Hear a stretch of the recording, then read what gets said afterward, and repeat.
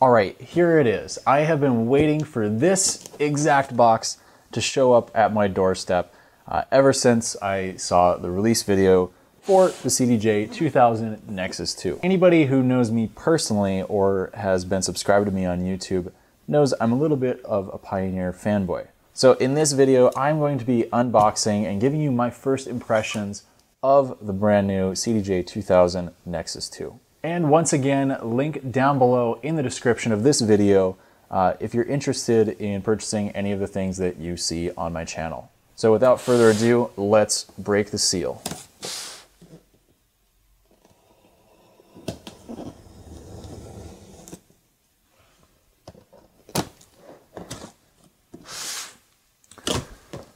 That new Pioneer smell fresh off the boat from Japan. All right, so here once again we have our medium gray IEC to Edison power cable, classic. And on the other side, we have a packet uh, full of cables and a manual, it seems. So let's open this up. We have our Cat5 or Ethernet cable for linking the CDJs in the Pro DJ link. Um, still sending RCAs.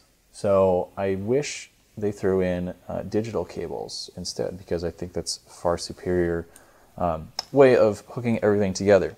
And of course our paperwork. This little thing has nothing on it and this is again the Kuvo advertisement. So excited about Kuvo. I can't wait for it to take off. And the moment we've all been waiting for, the actual unit itself.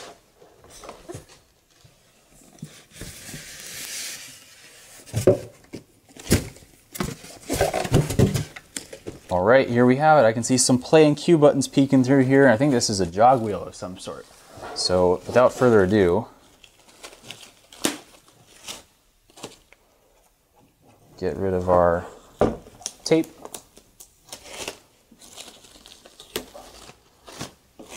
It's like unwrapping a present to myself that cost way too much. All right, here it is. And wow, um, straight away, it is a lot, just lifting it, it's a lot heavier than the, the regular 2000 Nexus or even the predecessors before that, the 2000 and the 1000 MK3s.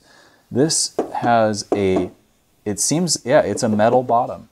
Um, previously on other CDJs, they had just had small little section that was metal, but it feels like this whole chassis, wow, it is a lot heavier. I'm not sure if that's due to the components inside or if they just uh, responding to feedback, people like me who uh, have no life and complain on forums about every little thing. Uh, maybe that's a response to that, but this is definitely a lot heavier. And you can see we have our new branding, Pioneer DJ, as opposed to just Pioneer. And it's also a little, a nice little touch that they've uh, changed the color of the feet here. I still wish they actually rotated so that you could, uh, you know, level it a little bit more because sometimes I have a, I have a couple CDJs that are just slightly not level and it, it's so annoying. So I wish, you know, that was, that was another thing that was included, but apparently not in this iteration. We do still have a CD drive, but this is probably going to be the last generation with one of those if I were to place a bet. And of course, the big news on this particular release, the brand new touchscreen, uh, high resolution waveforms, full color waveforms, that's going to be uh, the biggest uh, improvement you're going to see between this and the previous models. And one other exciting thing that, well, I'm particularly excited about, and a lot of other of my DJ friends who are do performance style mixing and they don't, you know, they have really, really short attention spans like me, so they, they like to jump in between tracks and between different parts in the same track. We have four hot cues and two banks of hot cues, giving us a total of eight. So you can only access directly four at a time, but then you can switch between which bank you want, A through D or E through H.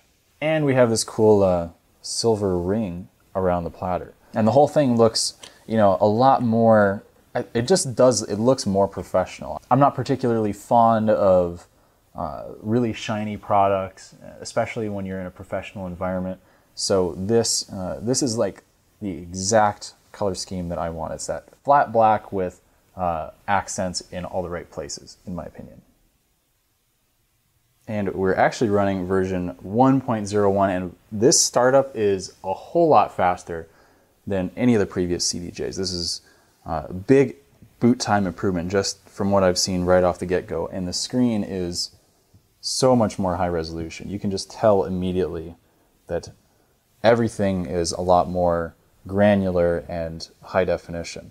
But I don't want to upgrade the firmware just yet because I'm going to show you how to do that in a video when you first get your pair of CDJs. So let's go ahead and plug in our flash drive. And one thing I've noticed straight away is this USB cover flap. Um, that's probably going to break off pretty easily in the future um, if I start renting these out. But for now, it's a really cool little thing that just flips up and um, there's no longer a stupid flap that's hanging there.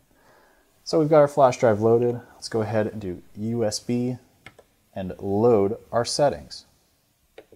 And let's go ahead and change our waveform color to RGB. Oh, but I've already done that in Rekordbox because I planned ahead. So here we have our full color waveform that everyone's been waiting for.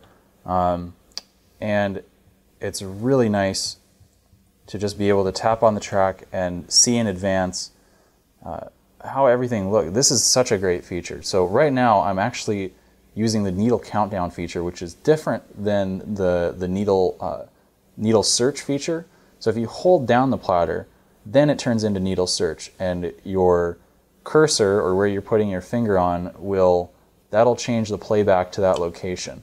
But if you're playing back and you just want to see what a different part of the track looks like, um, you don't press pause and then uh, yeah, you just you press wherever you want to look on the small waveform and it'll, it'll give you a little preview of what's coming up or what you already passed. One thing I was uh, personally concerned about when I saw that these players were being developed um, was that I didn't want everything to be moved onto the touchscreen. The touchscreen is a cool addition, do not get me wrong, but there's just nothing as good as having that tactile feedback of the physical buttons. And I, I personally love having the buttons and having everything on the touchscreen as well. It's a perfect combination in my opinion. Another big thing that they changed that I think is a huge improvement is they have made the hot cues uh, live recording.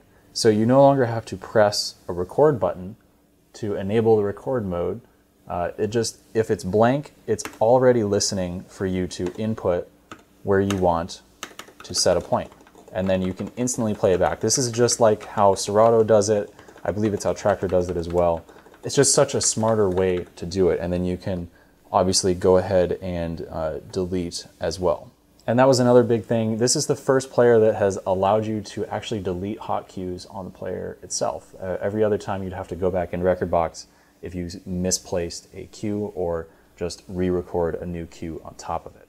One of the biggest features I can see that I'm going to be using a lot straight away is this new revised encoder browsing section. Whereas previously you just had the back button and the tag button, you now have a track filter button, an edit button, and this shortcut button, which just playing straight away with it has been totally awesome. You can change the phase meter type, you can change whether or not your auto cues uh, or your hot cues will auto load or if they'll follow what you have on your settings per track because you can change in Rekordbox per track whether you want it to auto load the hot cues or not.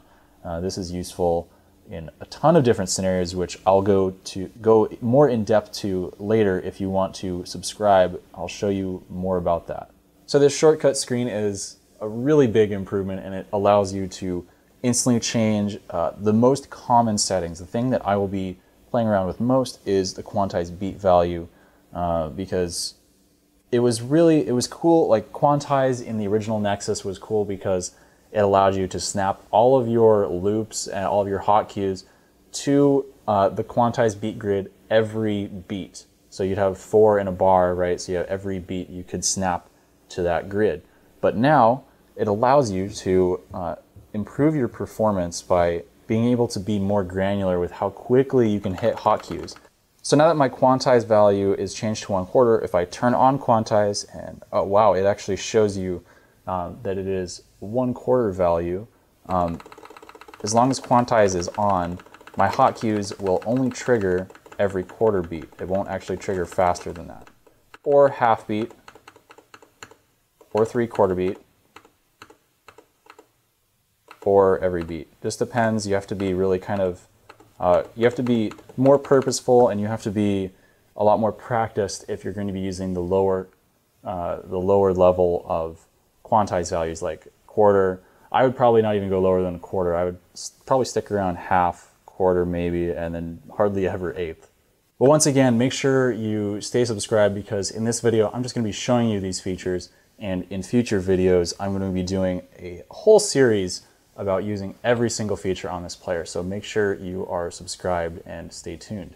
Pioneers also brought back a couple of features that people really wanted, like this 8 beat loop if you just hold down the 4 beat loop button for a little bit longer. And if you notice on here, there is a little bit of Morse code um, encoding going on here. So everything that's labeled, uh, that every button that has a dual purpose, like for example, the 4 beat slash 8 beat button, if it has uh, stenciling around it where it has a dot first and then a dash after it, the dot indicates what happens when you just click the button, and the dash indicates what happens when you hold it down for one second. And this is true of pretty much all Pioneer products. So if you've ever wondered what that is, that's what it is. And I don't really think this feature is super necessary since I have slip mode on almost always unless I'm doing like some tone play stuff or whatever. But they've included this, uh, it's now a dual direction reverse and forward button. So normally you just have the two positions, reverse and it locks into reverse, or forward, um, as you would expect on any normal player. But they've added this toggle switch. Uh, actually, it's not really a toggle switch, it's like a sprung toggle switch where it only activates as long as you have it held down. Uh, and just from playing around with it a little bit here, I've noticed that if you go into slip reverse and then hit a hot cue, it actually takes you out of reverse mode unlike if you have reverse mode on normally and hit the hot cue. And here finally I have lined up all three brothers of the CDJ 2000 range. We have the classic Ultimate CDJ 2000 on the left here. In the middle we have the brand new CDJ 2000 Nexus 2. And on the far right, the CDJ2000 Nexus. So as you can see, in some ways, the 2000 Nexus stands out a little bit more than the 2000 Nexus 2. And that's not necessarily a bad thing like I was talking about earlier. But anyways, I am really itching to get playing around with the brand new CDJ 2000 Nexus 2. I'm, I'm sure it's going to be a great reliable player as the other ones have been. And hopefully there aren't any bugs, uh, software bugs, as there were in the original 2000 Nexus when it was first released. But as they say, there's only one way to find out, and I am about to spend about six hours straight playing around with my new toys. So thank you so much for watching. Hopefully I'll be able to get some more videos up very shortly, including a full tutorial series on both the new CDJ 2000 Nexus 2 and the DJM 900 Nexus 2. So make sure you are subscribed and stick around for those. And once again, thank you so much for watching. If you like this video, make sure to click on the annotation on the screen to check out my unboxing of the DJM 900 Nexus 2. And don't forget, you can find all my social media links down in the description below, and I really hope to hear from you.